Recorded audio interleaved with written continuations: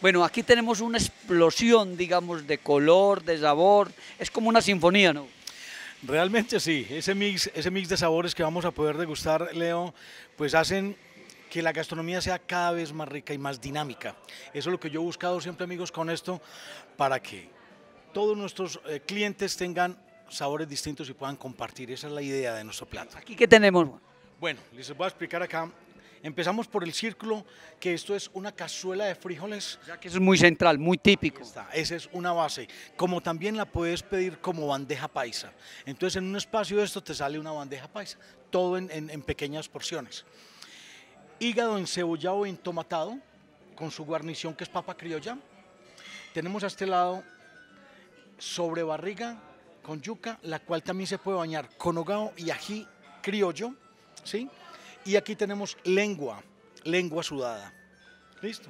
Cuatro sabores distintos que vienen acompañados de arroz y ensalada, que ya viene para acá también ese plato. Y que viene también, obviamente, con el acompañamiento de la mazamorra, con su panela. O sea, no nos salimos, no nos salimos de la comida puramente antioqueña, paisa y muy sabrosa y muy abundante, porque es que una de las cosas interesantes que tiene la comida antioqueña es la abundancia y sobre todo la variedad, ¿no? Sí, Pues sobre sí. todo la variedad, porque aquí usted, eh, digamos, todas las partes funcionan. Aquí funciona la oreja, funciona la pezuña, funciona todo, ¿no? Bueno, aquí también eh, es importante decirles, tenemos, contamos con ajiaco santafereño, ¿cierto? Vamos a tener eh, lo que es algo de pescado también para irnos un poquitico hacia la costa, pero que sean platos muy para nosotros, que sean sabores colombianos. Esa es la idea que tenemos acá. O sea, la bandeja no antioqueña, sino la bandeja colombiana.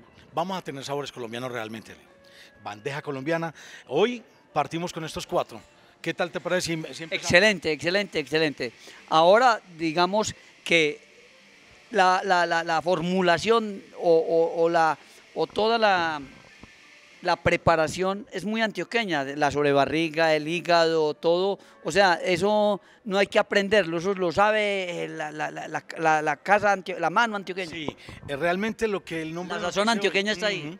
Y son señoras. Allá es eh, a, a nuestras chicas de cocina, un saludo a Edilia y a Doña Luz, que han sido las, las formadoras de toda esta idea conmigo. Les damos las gracias a ellos, igual a todo el equipo de, de Fondo a la Terraza, porque sin ellos esto no es real. Ellos hacen parte fundamental, tanto de la idea de uno, pero ellos son los que la ponen en marcha y en práctica. Como podemos ver, Jericó es más que el turismo religioso, que es muy importante, más que el turismo arquitectónico de la cultura de la mm, colonización y de la cultura cafetera. Aquí también es eh, la cultura del gourmet y llevado con simplicidad, pero con mucha estética y elaboración.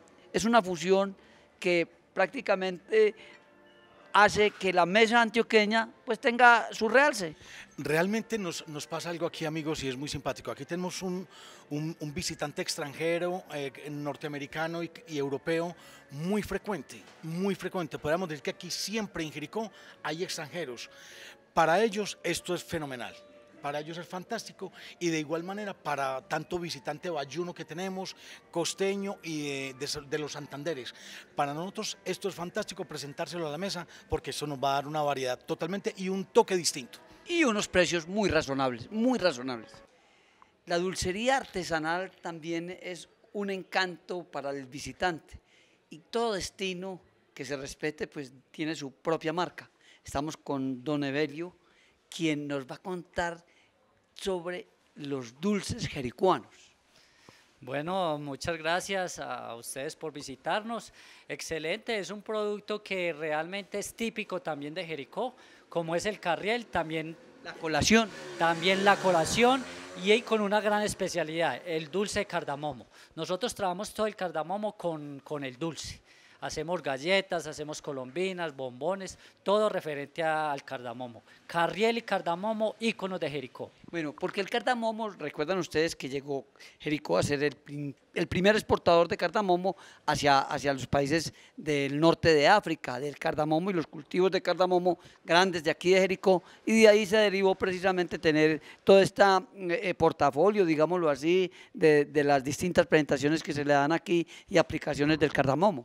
Sí, gracias a Dios hace 30 años nos llegó esta semilla del exterior y aquí en unas veredas, la cabaña, la cascada, empezamos a cultivarlas y, fue Jericó un gran exportador de cardamomo. Ahora se nos ha bajado mucho, pero nuestra meta de Dulces el Jericuano es volver a reactivar esos Y es sostener, digamos, ese, esa identidad, ¿no? Claro, totalmente, porque ya Jericó, como le decía al principio, ya es ícono también con cardamomo, carriel y cardamomo. Pero también aquí tenemos las colaciones, tenemos las cocaitas, ¿qué variedad de, productos eh, le tiene usted al visitante? Excelente, lo mismo nos, también nos caracterizamos por retomar las recetas antiguas de nuestras abuelas, que es la colación, la manzanita, el menicigüí, el cofio, el bombón de coco, el blanqueado, todo esto, la perita, todo lo que nuestras abuelas nos daban cuando nosotros estudiamos en el colegio, nosotros lo queremos retomar ahora al presente y ya tenemos una muy buena aceptación. Mamá, tráigame cositas. Esa era la frase que decíamos los niños cuando nuestros padres iban de visita a Jericó o a uno de los municipios antioqueños. Tráigame cositas. La macha es duración, la macha es la más macha y es mi protección. La macha es la más macha, la macha En las circunstancias más machas todo lo aguanta. Botas la macha de Croydon. ¡Qué machas para durar! Señor productor, no se deje sorprender y ponga su cultivo de aguacate en las mejores manos y proteja sus cosechas con atracín, polical y yodosafer productos AFER agrobiológicos para una agricultura más limpia. Aldea de los Pioneros en Venecia, el sitio ideal para un día de sol, piscinas naturales, pesca deportiva, picnic, alojamiento en cabañas ancestrales, un sitio con bellos escenarios para el selfie y para la práctica del volei playa. Aldea de los Pioneros, un mini parque campestre a tan solo 58 kilómetros de Medellín. Alita el rejo, camarita, llegaron las vaquerías. Hola amigos de la vaquería, quiero invitarlos para que el 9 y 10 de diciembre, el día de nuestra Inmaculada Concepción, será el Gran Nacional de la Virgen de la Vaquería allí en la Pintada Antioquia. Así que los espero a todos en este bonito deporte que gira en torno a la familia, a los campesinos y a los vaqueros de nuestros campos en Colombia. Así, amigos, que allí los espero los días 9 y 10 de diciembre en la Pintada Antioquia.